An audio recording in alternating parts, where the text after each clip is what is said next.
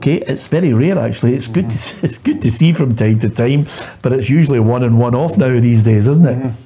Yeah, there's lots of times that uh, you look at opposition you're playing, you know, particularly the defenders you're playing, or if there's fullbacks that like to charge forward, there's a lot of spaces now strikers to, if they're comfortable moving into the areas. So, Yeah. no, I, I, I, I would love, I, I keep saying it with Scotland, I think we should be playing two strikers all the time, particularly at Hampden. Has the game changed so much now that that is almost extinct the way they play the game?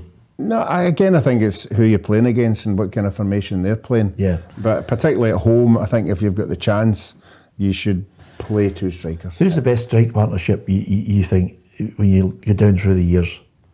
So it's a tough funnily question. I enough, have, I watched. Uh, there was a thing on Facebook today. It was so many years since we beat uh, Scotland beat England at Hampden in 1976, yes. and Joe Jordan and Kenny Dalglish just ran riot against a really quality England side. Yeah. that day at Hampden. It's funny you saying that. I was. I mean, honestly, I mean, I know a lot of people would say, "Oh, Peter's going to say Dalglish and Rush," but the only thing I would say to you, and probably people, a lot of people who know the game inside out, uh, who watch games, and a lot of the punters who watch this program would say, well, "Wait a minute, Kenny." Kenny could drop off into into areas in the midfield before he would play an out and out as an out and out striker. He plays a ten. I mean, he could play. A, he, he- he wasn't one of those guys that you thought, well, he's waiting for the flick on for Rush.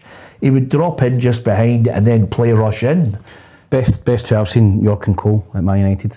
Yeah. I think that was That's a good shout. See when I see they two and I seen you know Beckham, Giggs, Scholes, Keane, that four four two that won the Champions League, won the treble. Yeah. that was the best. That's the best team I've seen. It's a good one to put out for a question. What's Yeah, who's the the best? best one. The best one I've seen in Scotland.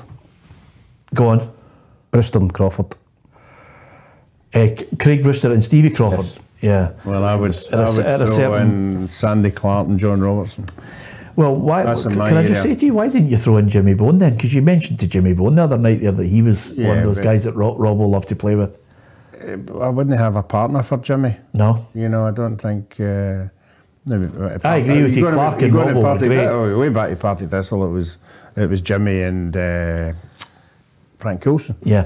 who played in the game. But uh, the other partnership I was thinking of, Toshack and Keegan.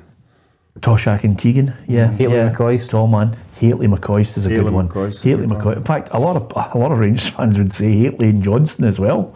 Um, I mean, Mark was so good as a you know as the, the leading part of the partnership as the the front man, and then the McCoist would play off him. But Hateley and McCoist is a really good one. Some people say Larsson and Sutton, but They it's- won uh, the. they It was, were really- was in there and all. There was. yeah, but- uh, and again, it's great. Who, who would you have as your greatest striking partnership?